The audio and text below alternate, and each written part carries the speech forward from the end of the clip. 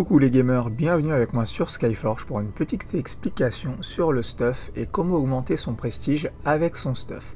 Donc euh, j'avais remarqué un petit fait euh, anodin qui en fait s'est confirmé euh, là maintenant que j'approche des, 30 000 de prestige comme vous pouvez le voir en haut à gauche.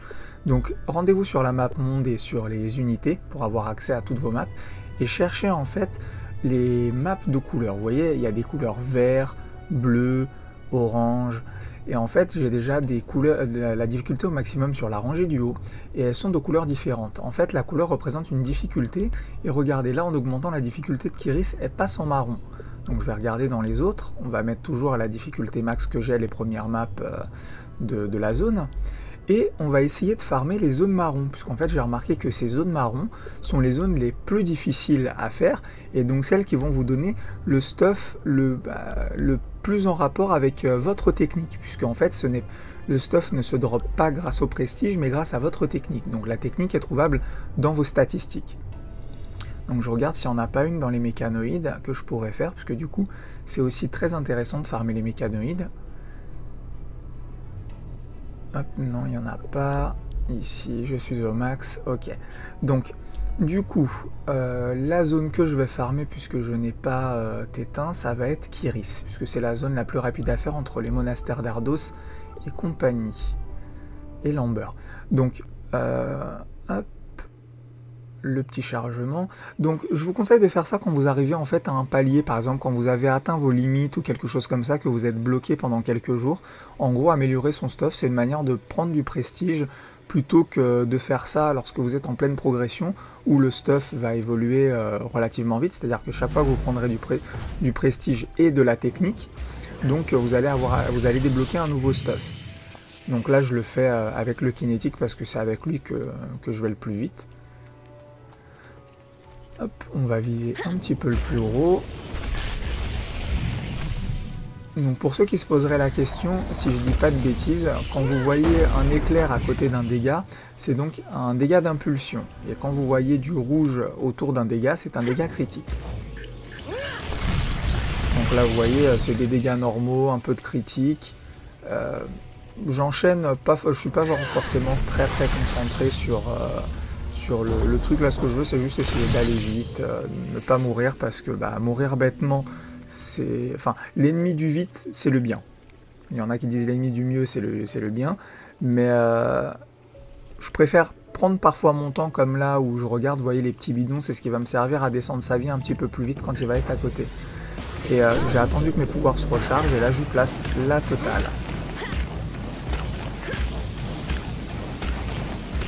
Et il prend assez cher, mais je me décale de, sa petite bave euh, gélatineuse qui fait assez mal. Ah voilà, il va vers un bidon.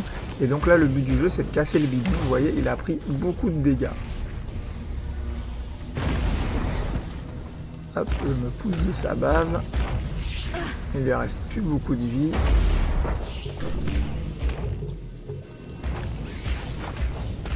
J'aurais bien essayé de... Ah, mauvaise idée.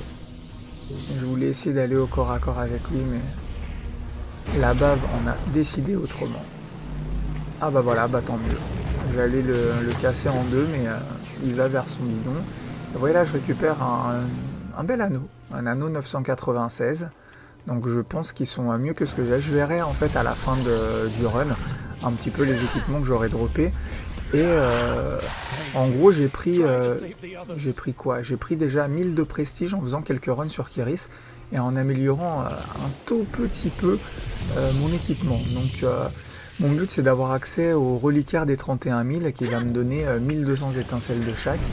Et bref, là, cette fin de dimanche, c'est juste hallucinant la, vitesse de progression que j'ai alors que j'ai complètement atteint mes limites depuis euh, samedi soir, puisque j'ai eu le bonus samedi, mais j'ai vite atteint mes limites malheureusement.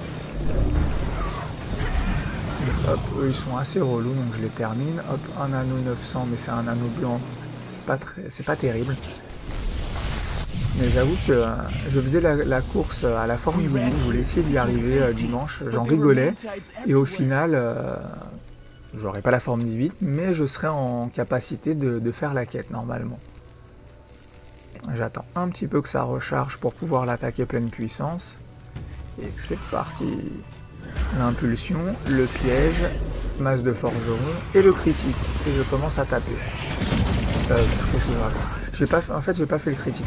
J'ai fait une variante en plaçant euh, le spécial pendant le critique et maintenant masse de forgeron en espérant que masse de forgeron tape un peu en critique. Mais c'est pas génial. Mais comme ça, au moins, ça me permet de lui placer toutes mes attaques dans la foulée.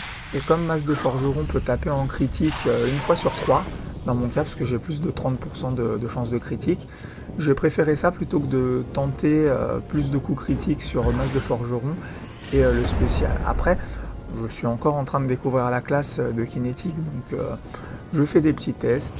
J'attends que les messieurs viennent vers moi. J'essaie de pas trop gaspiller ma, barre de mana pour, pour pouvoir après attaquer le gros boss. Je peux prendre quelques petits dégâts, c'est pas trop gênant. Le bouclier qui apparaît de temps en temps, c'est le, symbole du cryomancien. En gros, quand je fais un dégât d'impulsion, j'ai un bouclier pendant 3 secondes. Voilà, dégâts d'impulsion, vous voyez euh, le petit éclair sur les dégâts. Et maintenant, on va essayer de s'attaquer à lui.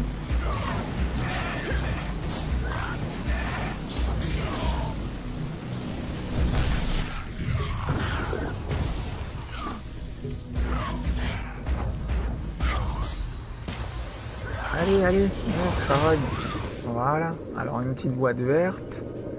Voilà, un anneau de 1066. Donc ça, c'est la tranche d'anneaux que j'espère dropper euh, sur cette aventure. Ça va être des anneaux entre 1060 et 1100. je crois que j'ai déjà droppé un 1080 si je dis pas de bêtises. Attendre un petit peu que ça recharge quand même. Je regarde, ah oui ça c'est une cachette mais ça m'intéresse pas. Là, les objectifs secondaires, je m'en fiche un petit peu.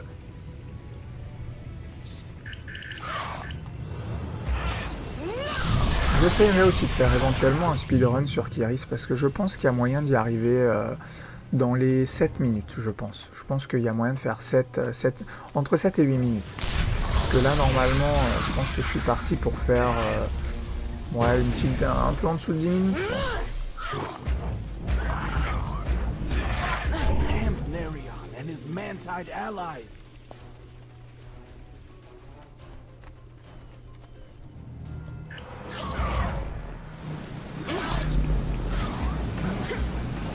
Cela, je remets un peu plus de power parce que c'est vraiment...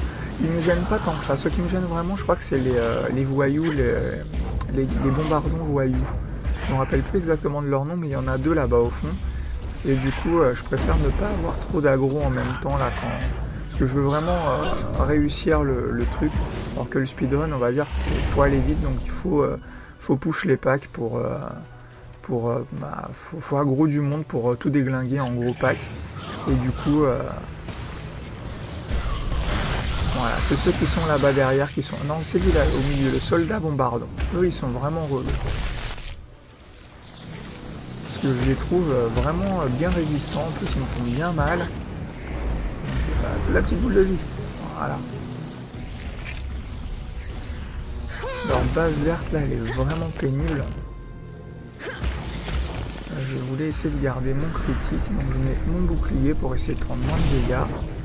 Mais ça va, il est mort. Donc là, je récupère bien toutes les boules grises parce que j'ai épuisé toutes mes limites. Donc maintenant, je ramasse tout. Je ne laisse rien. Hop, là, je leur le critique. Et voilà. Oh, voilà. Ça a été du petit critique, hein, parce que j'espérais vraiment les toucher tous les deux.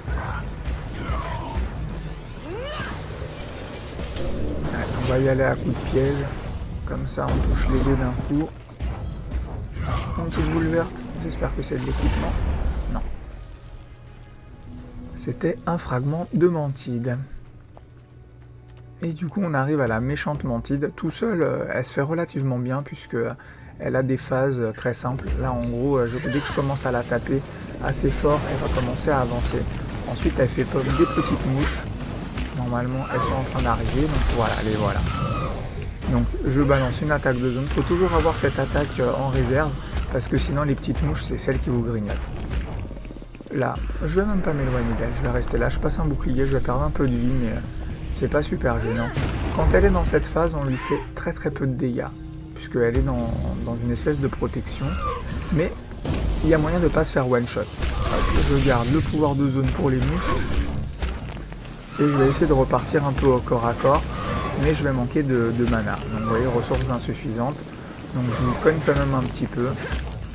Voilà. J'essaie de, diminuer au max. Là, elle est dans son truc où je lui fais très très peu de dégâts. Vous voyez l'espèce d'étoile avec un chiffre rouge. Ça veut dire que le boss, je lui fais un peu de dégâts, mais il est sous bouclier. Donc les dégâts sont vraiment minimes. Hop, vous voyez, par contre, elle aussi, elle me fait très très peu de dégâts quand je suis dans mes boucliers. Hop, et là, on va la terminer. Les petites abeilles, on les couche. Et dodo. Voilà, et là, je récupère des gants vraiment sympas. Donc, je vais vous montrer le prestige que je gagne.